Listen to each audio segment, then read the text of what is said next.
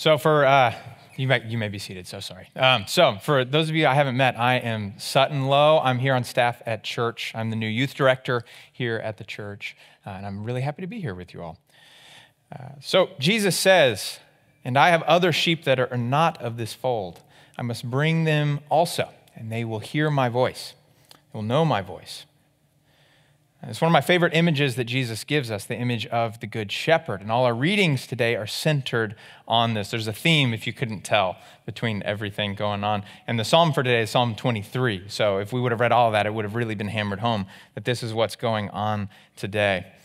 Uh, Jesus is the one who guides us to still waters and green pastures uh, so that we might have that, everything that we need. He's our protector in the valley of the shadow of death. He's our comforter, and in his presence, we have all that we need. And there's goodness and mercy there. So Jesus is building on the figural image of the shepherd that goes throughout all of the Old Testament. He's adding more to it. He says, I will lay down my life for the sheep. The hired hand will not do that. The hired hand plays Candy Crush on his phone when the foreman is not there, but that not so with the good shepherd. The good shepherd will die for the sheep. And ultimately, we know that Jesus dies for our forgiveness. When it becomes a matter of life and death, Jesus stays put. He cares so deeply for the sheep that he would rather lay down his own life than risk the life of his sheep. And so, in this image, Jesus shows us the love of God for us. It is not a distant love, it's not an absent love. It is a love that journeys together through the everydayness of life.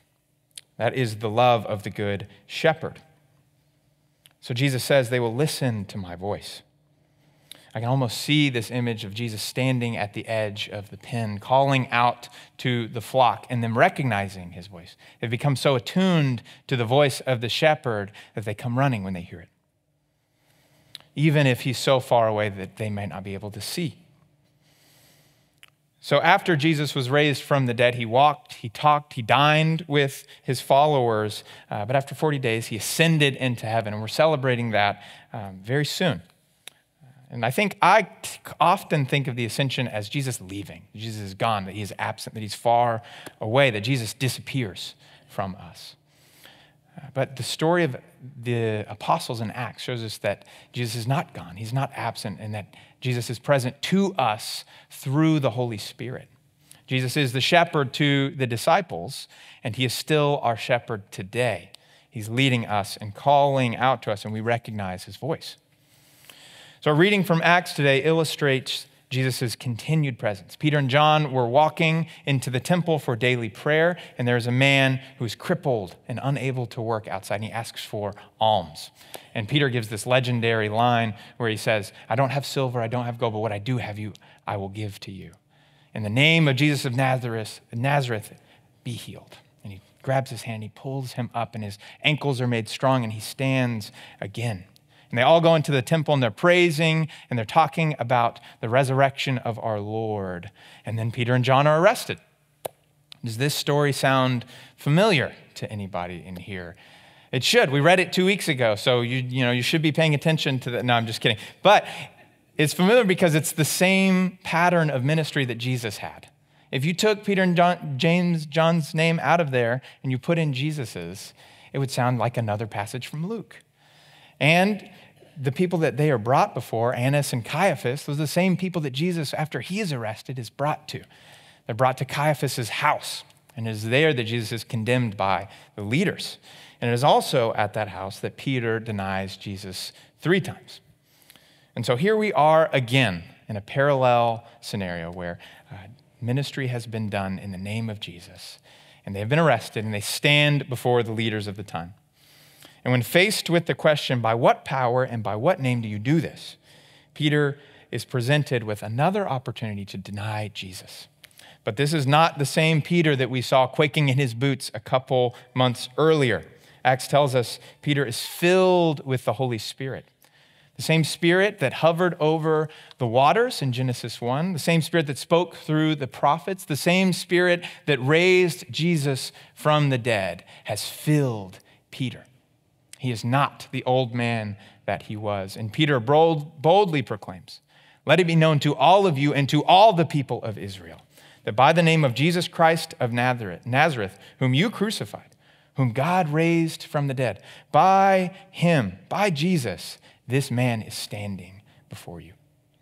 This is not the same Peter that cracked under the weight of his fear. Peter proclaims boldly the gospel truth, the message of forgiveness. And he proclaims it not only to the leaders whose life whose his life is in their hands. He proclaims it to all the people of Israel. So even when Jesus is not seen walking and talking and eating with the disciples, the ministry of Jesus is still happening. By Jesus, this is happening. And so the voice of Jesus can be heard through the Holy Spirit that filled Peter. I have other sheep, Jesus says. They're not of this fold. I will bring them also. They will listen to my voice, the voice of the Good Shepherd. And that voice is the Holy Spirit calling out to us today. The Spirit that spoke through the prophets, that hovered over the deep, the Spirit that raised Jesus from the dead and filled Peter with boldness, the Spirit that cleanses us in our baptisms. That Spirit is present to us. And it's by that same voice that Jesus calls out to us today. By the power of the Holy Spirit, Jesus is present to us and in us now, here in this room. And I believe that with my whole heart. I do.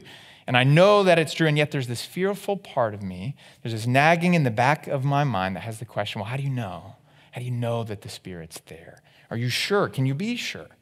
And I know I'm not the only one who has felt this way. If you look at church history, there's whole streams of the tradition that panic over this question, that seeking assurance, seeking some sort of peace.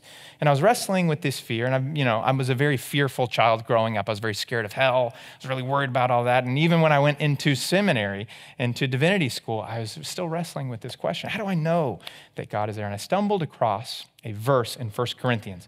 It's 1 Corinthians 12, 3. And just a little context, Paul is talking about false teachers. How do you know? How do you know if it's a real teacher or a false teacher? And he gives the Corinthians this good little metric.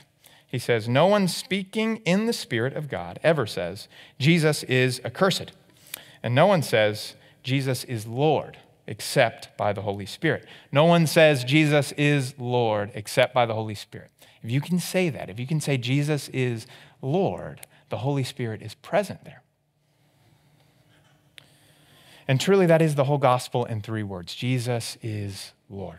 Jesus is the Lord of your life. He has saved you no matter where you are, no matter what you have done. Jesus is Lord, and He's redeemed you. And so Jesus is still our Lord, and we are attuned to his voice by the grace of the Holy Spirit, and that's why we can say that he is Lord. And so there is some internal assurance there that you can say that Jesus is the Lord and that the Holy Spirit is there. But what about in the world? Where do we see God in the world? How do we know God is moving? Where is God? Can we hear the voice of Jesus today, the voice of the Good Shepherd? And I'm here to say, yes, we can. We can hear the voice of the Good Shepherd. I think of the fruits of the Spirit. We see the fruits of the Spirit in the world, they permeate every aspect of our lives love and joy, peace, patience, kindness, goodness, faithfulness, gentleness, and self control. We all learn this as a little song at some point, and we know that an orange is not a fruit of the Spirit, but love is. We know these things are the fruit of the Spirit. And so we see Jesus and we hear his voice as the Good Shepherd through these fruits as they permeate all of our lives. So, just a very broad example. In the beginning, God created the heavens and the earth, and He spoke all things into being. And then He said, It's good. And goodness, we know, is a fruit of the Spirit. And what God speaks happens, and He said, It is good. So, we can look at the world and we see the goodness of God. You can look out at a beautiful mountain range or a total solar eclipse in Waco, Texas, and you see that God is good. You see the sublime, you see the beautiful, you see the goodness of the Lord.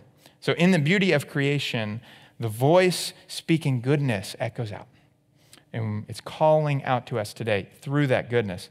And so, from good creation, we tangibly experience the love of God in our provision. We receive our life from the ground, from the fruit of the ground, uh, from animals that we eat. We literally receive our life. If you don't eat, you're going to die.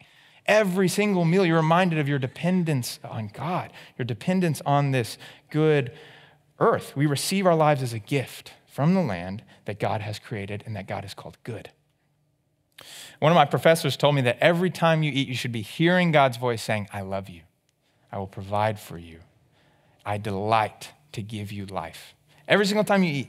And I think that's a beautiful image because I, sometimes I drive through McDonald's or Chick fil A or something. I've got to get my food as quickly as I can. I just got to get.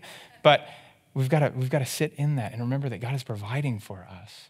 God's showing his love, which also is another fruit of the Spirit, and the literal fruit of the ground that we eat. And it's delicious. We enjoy it. God provides a beautiful way for us to attune our hearts to Him in sharing meals with each other. We can literally taste and see the fruits of the Spirit. And we never experience this alone. Even if you are the only one who goes to HEB to buy the tortillas and the celery and everything that you need to eat, someone had to grow those things. Someone had to make those things. Our lives are dependent upon each other. No person is an island, as Thomas Merton says. Our lives are bound together, they're enmeshed together, and we see the fruits of the Spirit in our relationships as well. We experience God and we hear his voice in big moments of love and joy, like our wedding days or the birth of a child or a big celebration. We experience joy in those moments and we see that love. And we also see faithfulness and fidelity in the humdrum faithfulness of every day, of the little choices we make to preserve our friendships, our marriages, um, our families.